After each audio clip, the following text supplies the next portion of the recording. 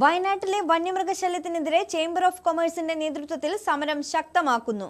വിവിധ സന്നദ്ധ സംഘടനകളെ കൂട്ടിയോജിപ്പിച്ചാണ് സമരം നടത്തുകയെന്ന് നേതാക്കൾ പറഞ്ഞു. വയനാട്ടിലെ പ്രത്യേക സാഹചര്യത്തിൽ മുഖ്യമന്ത്രി നേരിട്ടെത്തി സ്ഥിതിഗതികൾ വിലയിരുത്താൻ തയ്യാറാകണമെന്നും ചേംബർ ഓഫ് കൊമേഴ്സ് ആവശ്യപ്പെടുന്നു. പതിനഞ്ചോളം സംഘടനാ പ്രതിനിധികളാണ് ഇന്നത്തെ യോഗത്തിൽ പങ്കെടുത്തത്.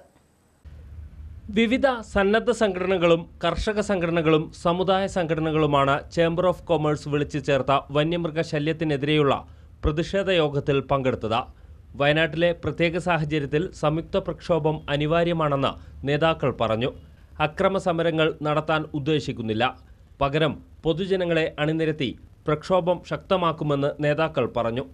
ഐറണി എന്ന് പറയുന്നത് പി ഐ എൽ ലിറ്റിഗേഷൻ വിടുന്നത് ഗവൺമെന്റിനെതിരെയാണ് അല്ലേ? ഗവൺമെന്റിനെതിരെയാണല്ലോ പബ്ലിക് ഇൻട്രസ്റ്റ് ലിറ്റിഗേഷൻ ഫയൽ ചെയ്യുന്നത്. നിങ്ങൾ എന്തുകൊണ്ട് ആനയുടെ സഞ്ചാര സ്വാതന്ത്ര്യം കൊടുക്കുന്നില്ല എന്ന് പറയുന്നത് പി എൽ ലിറ്റിഗേഷൻ ഫയൽ ചെയ്യേണ്ടത് ഗവൺമെന്റിനെതിരെയാണ്.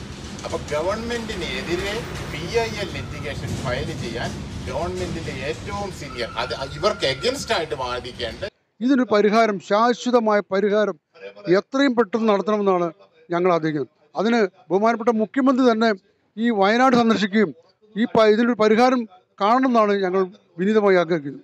വയനാട്ടിലെ സങ്കീർണമായ സാഹചര്യം കണക്കിലെടുത്ത മുഖ്യമന്ത്രി നേരിട്ടെത്തി സ്ഥിതിഗതികൾ വിലയിരുത്തണം. വയനാടിനായി പ്രഖ്യാപിച്ച ഏഴായിരം കോടി രൂപ വന്യമൃഗ പ്രതിരോധ പ്രവർത്തനങ്ങൾക്ക് ചെലവഴിക്കണമെന്നും നേതാക്കൾ ആവശ്യപ്പെട്ടു. News bureau Kalpetta.